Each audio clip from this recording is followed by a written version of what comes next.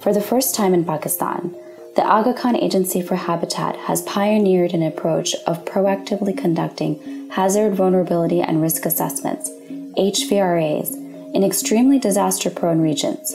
This unique approach creatively integrates and leverages science, technology, and local indigenous knowledge for efficient and sustainable habitat planning and development interventions,